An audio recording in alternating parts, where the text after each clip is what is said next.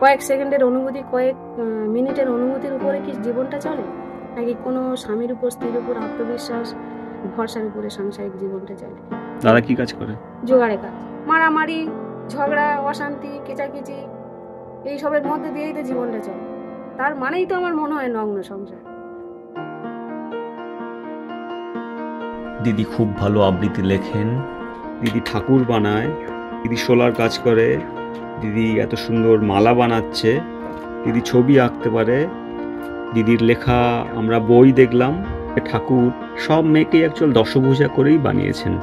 হয়তো বাকি আরও আটটা হাত আমরা দেখতে পাই না। কিন্তু কোনো মেয়েই দশভূজার চেয়ে কোনো অংশে কম নয়। তো দিদির এই চেষ্টাটাকে আমরা সকলে কুর্নিশ জানাই।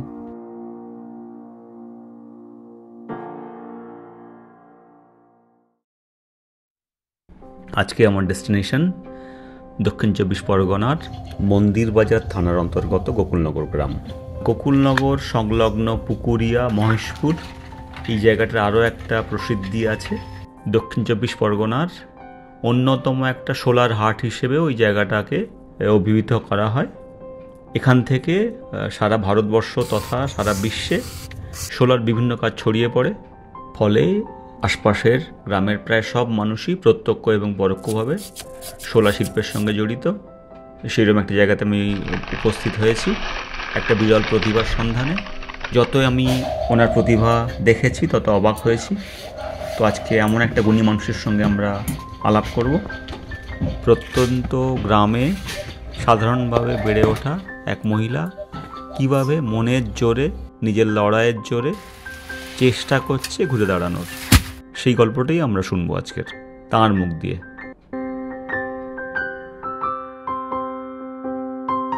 এটা কি কি দিয়ে বানানো হয়েছে?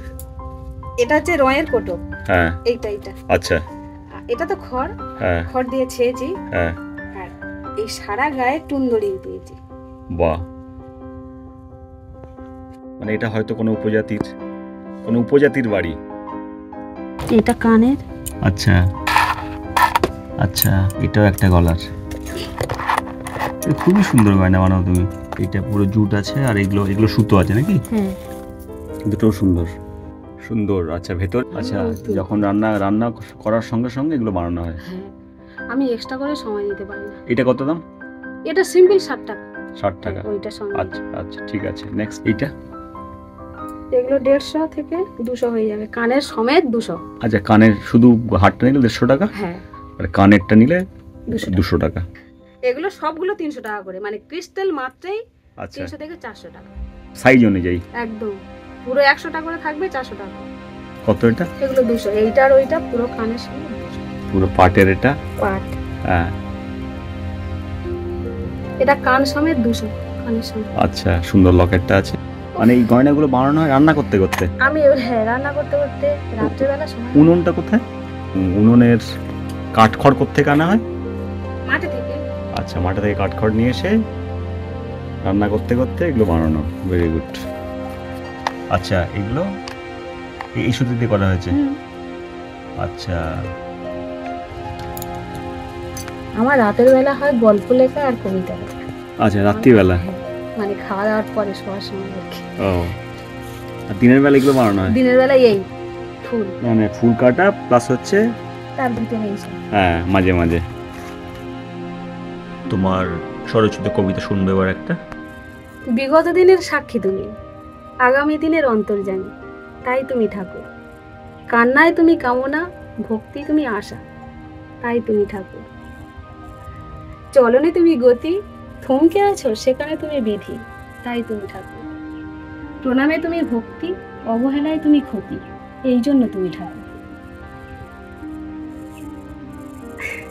ভেরি গুড ভেরি গুড মানে কোথায় কোথায় কি কি প্রতিভা লুকিয়ে থাকে আমরা জানি না। আমরা চাই সব প্রতিভার পুষ্পটিত হোক।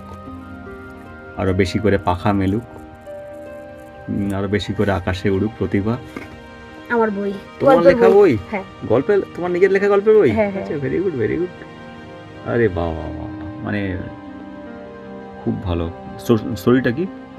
যে একটা সংসারের মধ্যে একটা মানুষ স্ত্রী হোক স্বামী হোক পুরুষ হোক মেয়ে হোক তাদের যে সাংসারিক জীবন সেই জীবনের মধ্যে যে ভালোবাসা হোক বিশ্বাস এই এইটুকু সমন্বয়ে কি সংসার হয়? যে সব স্বামী কি স্ত্রীদের ভালোবাসে সম্মান দেয়? নাকি আমরা সারা দিনের পরে কোনো কিছু আবদারের উপর নির্ভর করে সংসারটা চলে? কয়েক সেকেন্ডের অনুভূতি কয়েক মিনিটের অনুভূতির উপরে কি জীবনটা চলে? নাকি কোনো স্বামীর উপর স্ত্রীর উপর আত্মবিশ্বাস ভরসার উপরে সাংসারিক জীবনটা চলে?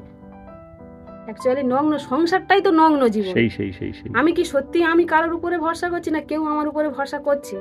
সেই। আমি তো একটা টিলটিলে মাটির উপরে দাঁড়িয়ে আছি। খেতে হয় খাচ্ছি চলার সময় চলতে চলছি। মারামারি ঝগড়া অশান্তি কেচাকিচি এইসবের মধ্যে দিয়েই তো জীবনটা চলে।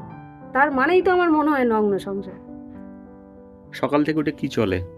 সকাল থেকে সকালবেলা পাঁচটাতে উঠি উঠে কাজে যাওয়ার জন্য তৈরি হই। কোথায়? বর কাজে যায় তার। জন্য তো ভোরবেলা রান্না বান্না সারতে হয়।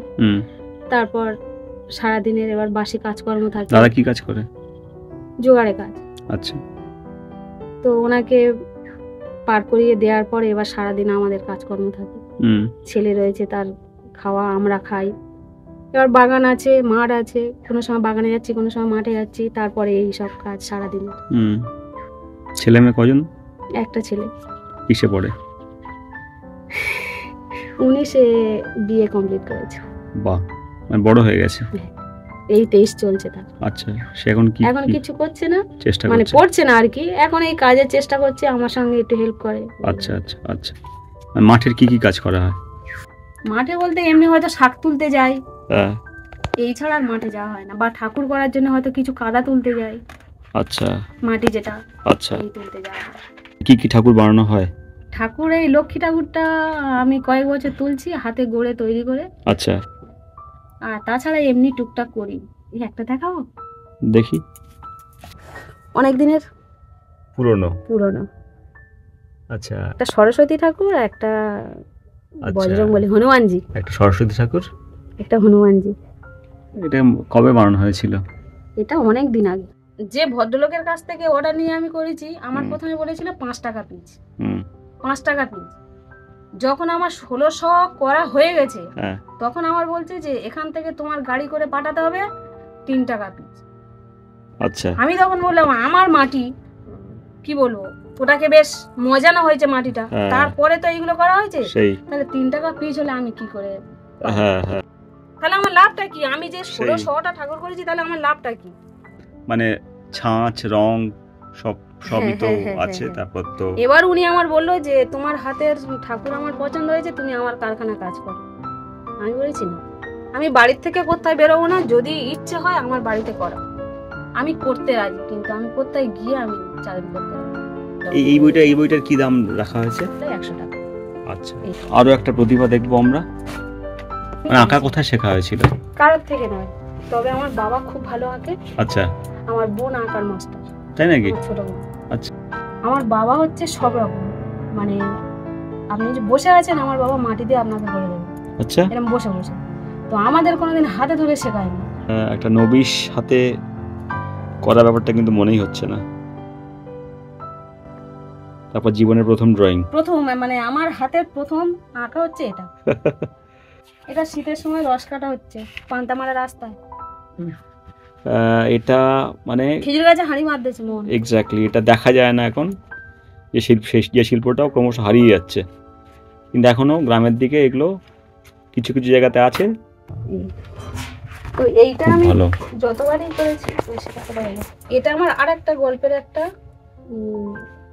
গল্পটা এটা কি লেখা হচ্ছে? লেখা তো আমার অলরেডি আছে লেখা। এটা একটা কি স্টোরি এটা একটা একাদশী ব্রত অবস্থায় হুম। স্নান করা অবস্থায় মাটির কলসি জল নিয়ে যাচ্ছে। গ্রাম্য পরিবেশের মেয়েরা যেমন ভাবে চলাফেরা করে ব্লাউজ থাকে না শাড়ির ফেটি দিয়ে যেটা এ করে সেইভাবে। আচ্ছা।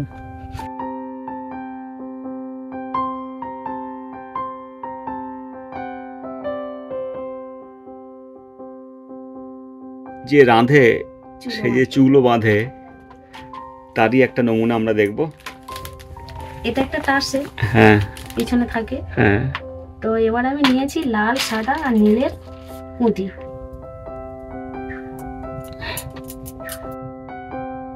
আজকের দিনে প্রতিটা সংসার যদি সকলে মিলে আমরা কাঁধে কাঁধ মিলিয়ে লড়ার চেষ্টা করি আমরা ঠিক পার হয়ে সেই তাহলে সেই লড়াইটা কঠিন মনে হয় না? অনেক ইজি হয় আমাদের সকলের কাছে। আর বিশেষ করে ঠাকুর সব মেয়েকেই অ্যাকচুয়াল দশভূজা করেই বানিয়েছেন। হয়তো বাকি আরও আটটা হাত আমরা দেখতে পাই না। কিন্তু কোনো মেয়েই দশভূজার চেয়ে কোনো অংশে কম নয়। দিদির নাম? মীনাক্ষী মন্ডল দিদির নাম হচ্ছে মীনাক্ষী মণ্ডল। দিদি কতদূর পড়াশোনা করা হয়েছে? মাধ্যমিক পাস। আচ্ছা। কোন প্রতিভা যে দিদির নেই? দিদি খুব ভালো আবৃত্তি লেখেন। দিদি ঠাকুর বানায়। দিদি সোলার কাজ করে। দিদি এত সুন্দর মালা বানাচ্ছে। দিদি ছবি আঁকতে পারে। দিদির লেখা আমরা বই দেখলাম। প্রত্যেকটা মানুষ নিজের নিজের মতো করে লড়াই করার চেষ্টা করছে। আজকের এই দুর্মূল্যের বাজারে, যেখানে চাকরি নেই বলতে গেলে। তো সকলে আমরা লড়াই করছি নিজেদের অস্তিত্ব রক্ষা- রক্ষার লড়াই। সেই লড়াইয়ে আমাদের সকলে দিদির পাশে থাকাটা খুবই জরুরি। আর সামনেই দুর্গাপুজো আসছে।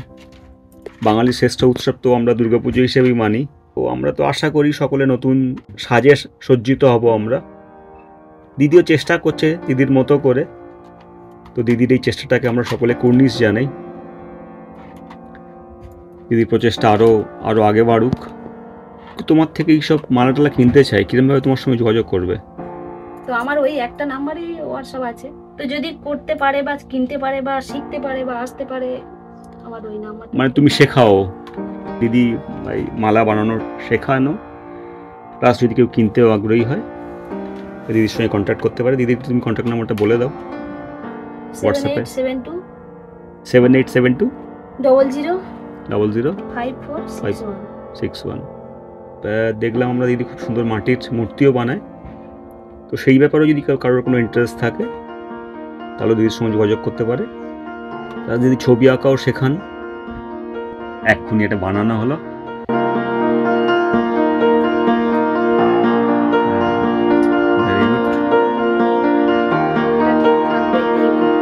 আচ্ছা একটা সাইডে সামনে দেওয়া আছে। এটা হচ্ছে কড়ি। আচ্ছা। খুব সুন্দর হয়েছে